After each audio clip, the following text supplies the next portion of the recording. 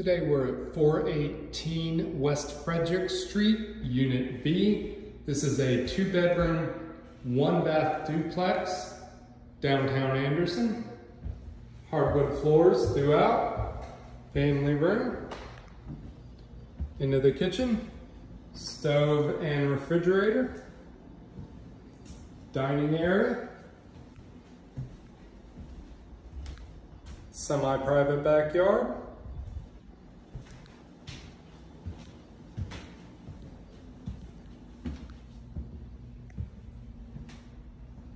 hall full bath,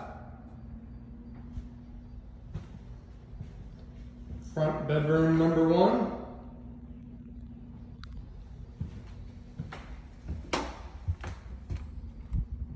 and bedroom number two.